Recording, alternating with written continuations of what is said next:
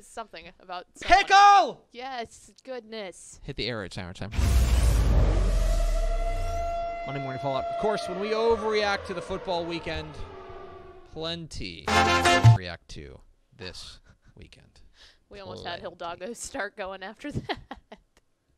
Plenty. Let's start with my three big thoughts. Thought number one rivalries mean more. So it's hard to kind of draw an overarching, I think, like theme to week six of the Texas high school football rank, uh, you know, world. But one thing I do think is interesting is that we had a lot of rivalry games that went on this past week, and we, we talked about it. A lot of them in, in the picks video, a lot of them just over the course of, of doing the um, just talking Texas high school football um, heading into the year or heading into the week. But the one thing that I do think is interesting is that when you take a look at each of the big rivalry games across the state, I thought that they told us a lot more. I don't mm-hmm. know if you want to say that Lubbock Coronado and Lubbock Cooper is a rivalry game. Maybe it is. I don't think. I don't necessarily think of that as like oh big rivalry. It's just two teams in Lubbock. Mm-hmm. But I do think that Coronado's twenty-eight nothing win over Cooper is really telling, mm-hmm. and a team that and and something that tells me it's like Lubbock Lubbock Coronado when they can play defense like that is going to be an extreme problem. That's an example of, of a rivalry game. Denton Ryan and Denton Geyer is decidedly a rivalry game, and it told us a lot. It told us that Denton Ryan is pound for pound the best team in the state. Pretty stinking good. I mean, right now, looking looking the part. I mean, they looked fantastic with their win over Geyer. If you want to call Carthage and Pleasant Grove a rivalry game, it's kind of butted a little bit. They played a couple past couple of years, but Carthage's second half demolition of Pleasant Grove, I think, it, it tells you more than just oh they won a quote unquote rivalry game. Um, Didn't the Battle of the Bell? Battle of the Bell. Cam- uh, Rockdale's win over Cameron Yeah. Yoe, I think, shows us that yeah, Rockdale's on the way. On you know, yeah, they, they lost a couple of games, but they're on the come up, and that they're they're you know doing things in, in a bigger way. I thought that uh, Tyler Legacy's win over Tyler, Yeah. Right? Tyler Legacy, uh, former Tyler Lee, is off to a 2 0 start and looking great, looking really really strong, and suddenly a team that we think has a chance to make some noise. That's a game that I think. It's, certainly, the Crosstown Showdown in Abilene was a rivalry game. And I thought Cooper's win over Abilene tells us that yeah, the Cougs are, are serious. You know, that was one thing that I thought was was particularly interesting. And then by the way, Longview's bounce back win over Marshall. Right? I thought I thought that there was a lot of opportunity for us to find out some very bad things about Longview if they go out there and just lay an egg against Marshall. Instead, they roared out and, and made it look like week one was an aberration. That's my thought. Is that we learned a lot from rivalry games beyond who won the rivalry game. Mm-hmm. Like we just got to see a little bit more and get better. We got to have a better kind of grasp on who these teams are. Uh, not only because of who they won and who won the game, and, and yeah, that of course matters in those particular towns, but also the just the, the sense that now we have a little bit better feel for those teams. That's thought number one. Thought number two: CFP goes poof. God, is that so, not right? so here's a fun fact. I have worked here at Dave Campbell's Texas Football since 2011. 2011. My first magazine was when we put Jonathan Gray and Cyrus Gray on the cover in 2011. Okay? That was my first cover. Mm-hmm. And we have never had a team play for a national title. We didn't have it in the end of the BCS era. We didn't have it. We haven't had it yet mm-hmm. in the college football playoff era. And so this is my 10th season covering college football in the state of Texas. Mm-hmm. And for the 10th consecutive year, we won't be covering a national contender. No. Because it all ended this week. It really it is did. October 5th, and we can say that a team from the state of Texas will not play for the college football playoff. Mm. And I know there are going to be SMU fans who are out there hollering, hey, what about us? We're 4 0. If you think that the college football playoff committee is going to let SMU into the playoff, I have some. I have something to say. They couldn't sell you. even. They don't even have. Since it started, like- they haven't really let a Big Twelve team. I mean, I they- am- oh, I- other than Oklahoma. I am, and, and, and here's the thing. I, I, I love, I, I, I of course am, am rooting for SMU to get into the playoff. I'm rooting for Houston whenever they start playing mm-hmm. to get into the playoff, right? But I al- am also realistic that they're not going to let a team No. like that, and especially like that, like because it's a political thing. It's not because SMU's not good enough. It's because it's a political thing. They're not going to get in the playoff, and as a result, Texas's loss Mm-hmm. to TCU eliminates them from playoff contention. And I know what you're thinking. You're thinking, hey, wait, what if they just run the one, run the table the rest of the way? Who is going to be a quality win for them? Who is going to be a quality win right, for them the rest of the way? It would have been Oklahoma, but they're dog poop right now. Yes, Oklahoma's 0 2 in conference. Yeah. So that's going to be a quality win. Is your quality one going to be Oklahoma State? No, Texas is done. A&M goes to Alabama and they get blown out. That's not necessarily surprising, but we can eliminate them mm-hmm. from college football playoff contention. Yeah, the biggest TCU's out.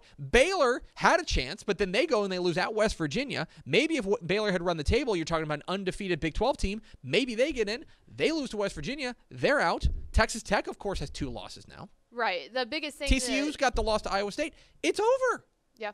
It's over. the biggest thing that we can hope for is that SMU makes it to a, a New Year's Six bowl. They either get in the Cotton Bowl or is it what's the other one that's not a playoff this year? I don't remember, but that's that's what you hope for. Like how Memphis made it in there last year. That's all that you can hope for at this point. That's that's the pinnacle. yeah, that, yeah. At this point, we're talking about New Year's Six Bowls. Right. That's what we're hoping for. But the, the college football playoff for the state of Texas is done. It's over. It's finished. There are teams that I would like to see. I would like to see SMU run the table and go 12 and 0 and or I 12 and 0, maybe 11. I don't know how many games they have on their schedule. I'd love to see them go go undefeated. But no. And thought number 3, defenses dazzle. I thought actually one of the big takeaways from the Texas high school football um, games this weekend was I came away really impressed with a number of defenses. I came away really impressed with DeSoto's defense. They pitch a shutout on Judson for the first time since 2005. Judson had not been shut out since 2005. Schertz Clemens goes to San Angelo Central and shuts out San Angelo Central, I think that was on the road, for the first time since 2008. They had been shut out since 2008. I thought that Duncanville in their debut looked really, really good defensively. Mm-hmm. I thought that Manvel looked really good defensively. I thought there were a number of big time contenders. Carthage, we mentioned them in, in the other going. I am. I was really impressed with the defense that you saw from a number of teams across state. And no, normally that's not necessarily a surprise because defenses tend to be ahead of the offenses. But yeah, extremely, extremely impressive from the defensive perspective. Three helmet stickers.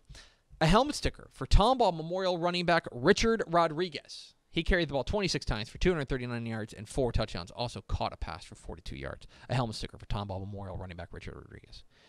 A helmet sticker Sweet, sweet cover for our boy. sweet, sweet cover boy Shane Buechele. He throws for 474 and three touchdowns in SMU's big win over Memphis. And a helmet sticker I love this. to the Allen student section. Great work. Did you see it? Great Did work. so Pickle I tweeted it out. Pickle was at the game on on on Friday, the uh, the uh, Allen's win over at Tascasita, and you took a picture of their student section. Yeah. And here's the thing, Allen is the biggest school in the state. They have 6,900 kids, Mm-hmm. right? They should be the worst at this. Yes. Instead, you were there. And they were awesome. Ev- everything about that stadium, but specifically the student section, they were all six feet apart. All of them. Every single one of them. Not a single person was standing next to each other. It was awesome. Yes. So good. It was The whole stadium looked great too. So here's They what I'm gonna do. Here's what I'm gonna do. Boundaries. Here's what I'm gonna do. I'm not gonna trash schools that are not abiding by uh, by the uh, social distancing guidelines and the mask uh, mandate. Although I see you, I'm not gonna trash you. That's fine. Whatever. You know, let God sort them out.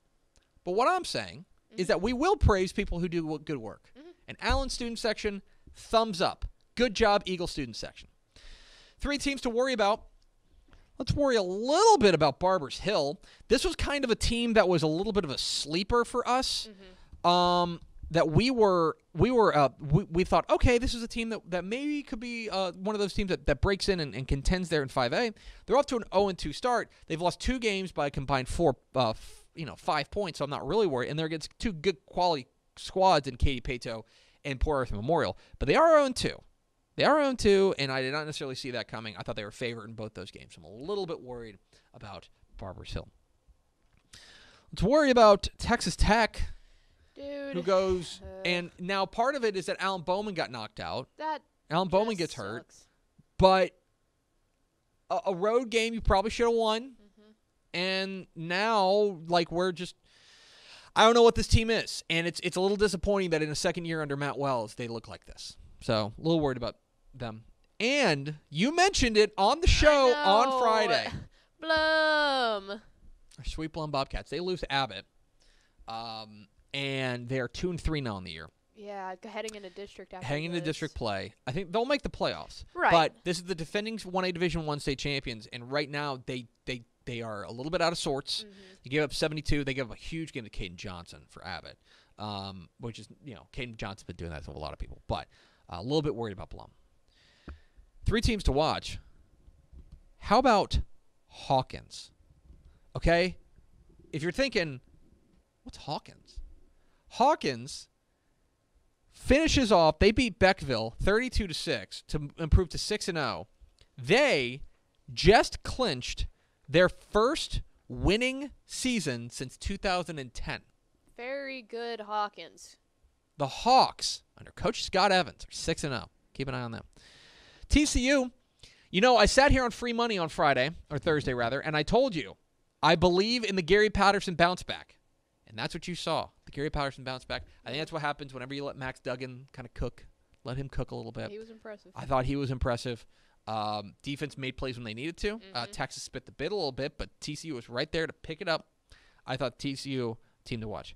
And finally, San Antonio Johnson. Um, this was a team in Johnson that we um, we were excited to see finally take the field. They had a big game against O'Connor, and they looked the part in their big win. Uh, they go and beat them 35-21.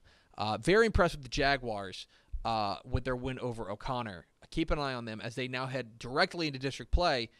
Look, they're going to be favored in the next few games. They get a big game on the 22nd against San Antonio Brandeis. That'll be a big measuring stick, but keep an eye on San Antonio Johnson. That is three teams to watch. That is Monday Morning Fallout.